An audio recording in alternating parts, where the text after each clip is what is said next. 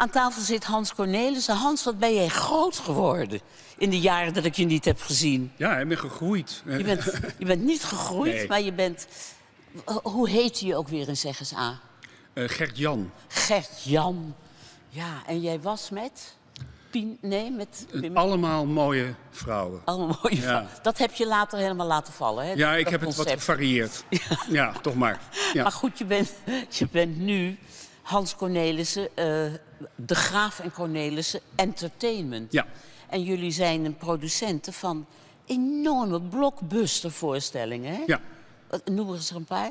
Ehm, nou ja, Haal het eh, doek maar op, Titanic. ehm, Nou, Titanic, dat zou komen. Zou dat komen. is nu eh, uitgesteld. Maar eh, Kinky Boots natuurlijk dit jaar. eh, en daarvoor Evita, My Fair Lady. eh, ja, op hoop van zegen, de Jantjes. You We hebben eigenlijk eh, afgelopen eh, jaren 46 producties gemaakt. Musical, eh, toneel en theaterconcerten. Dus eh, en ja. allemaal als vrije producent, hè? ja. Dus toen werd het 13 maart. En toen? Ehm, ja, dan zitten er de casts van Kinky Boots, wat veel mensen waren, 30. En, en, en Haal het doek maar op, een andere musical, in, in, eh, in de bus, hè, de befaamde bus. Die was al... eh, Die waren op weg, die decors waren Ja. gebouwd. En de- we zaten aan de persconferentie te kijken, zoals voor veel mensen geldt. Ja, en dan gaat het licht uit. En dat is, eh, je leeft in de waan van de week hoor. Het dringt nog niet meteen helemaal door. In ons geval was het wel zo. Kinky Boots was een, een nieuwe titel voor Nederland. Een hele geslaagde voorstelling, prachtige recensies. Maar dat was een moeilijke opstart voor ons, omdat eh, het publiek die, die titel niet kent. We zouden net een week naar Breda gaan. Groot theater, Chassé Theater. eh, acht bijna volle voorstellingen. Dan heb ik het over 8000 kaarten die pff, weg waren. Dus dat alleen al, dat was echt eh, ingrijpend. Ja, maar niet alleen voor ons. Nee, maar heb je niet ooit een moment gedacht... ik ga onder de dekens liggen en ik kom er niet meer uit? Nee. Nee, ik heb tegen mijn, of mijn compagnon Ruud de Graaf en ik heb tegen elkaar gezegd... eh, we weten niet wat er gaat gebeuren, maar één ding, we gaan niet ten onder.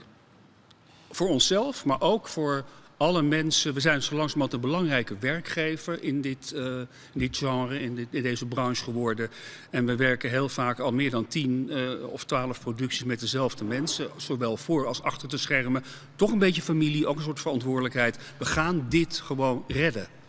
En dat is misschien een beetje positief gedacht, maar dat hebben we ook nodig. Heb je dat nog steeds? Ja, ik heb net vanmorgen met het hele creatieve team van Saturday Night Fever bij elkaar geroepen. Een productie die we in principe in januari gaan doen. Ik heb gezegd, jongens, wij, wij- wij noemen onszelf creatief. This is the moment to be more creative. We gaan nu een versie bedenken eh, vanuit een eh, artistieke overweging. Daar worden we nu toe gedwongen, vernieuwend, maar die wel passend is in diverse situaties. Zo, eh, zo denken we. Dus, dus, waar moet ik aan denken dan? Kleinere bezettingen? Nou, dat hoeft niet eens, maar wel. eh dat is natuurlijk volstrekt afhankelijk van, eh, wordt het een contactberoep? eh, wat gaat er gebeuren? Komt er de anderhalve meter? Hè? Dat weten we nog niet. Of gaat het opeens harder? Kan ook nog hè, dat die versoepeling toch sneller gaat. Ik bedoel, we, we kennen allemaal de discussies over de vliegtuigen en over de theaters, waar natuurlijk een rare discrepantie in zit.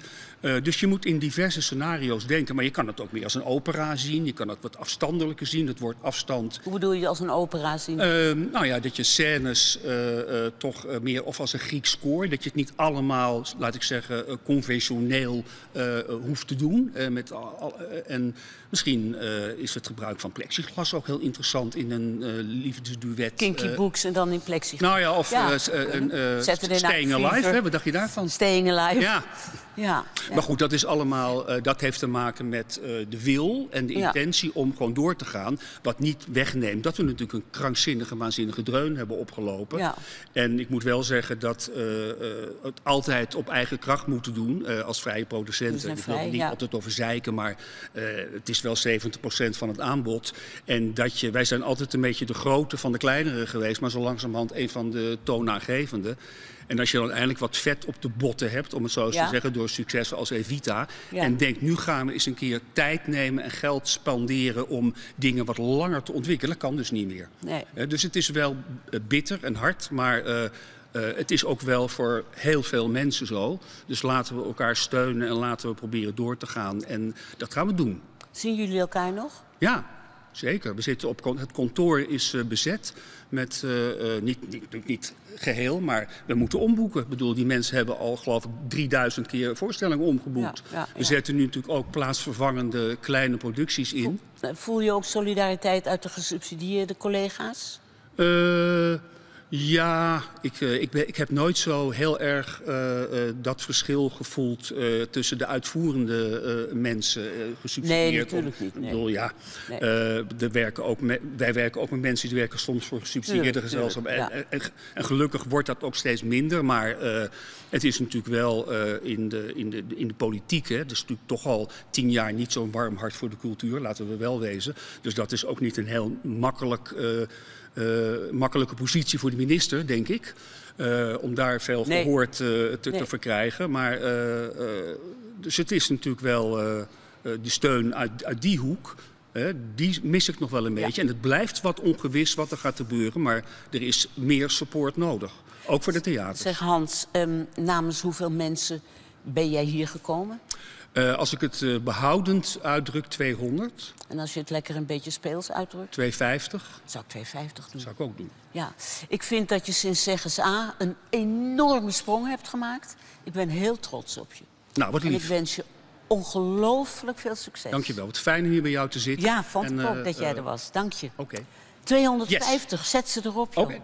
En heel veel sterkte. Dankjewel.